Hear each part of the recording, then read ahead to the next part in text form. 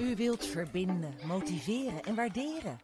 In tijden van corona wordt veel flexibiliteit van uw medewerkers verwacht. Daarom is het juist nu zo belangrijk om extra waardering te schenken aan uw werknemers. Zodat ze weten dat u aan ze denkt.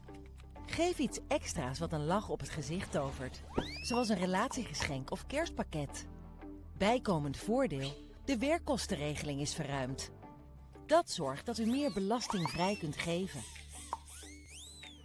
Wilt u een relatiegeschenk of kerstpakket bestellen? Neem dan direct contact met ons op.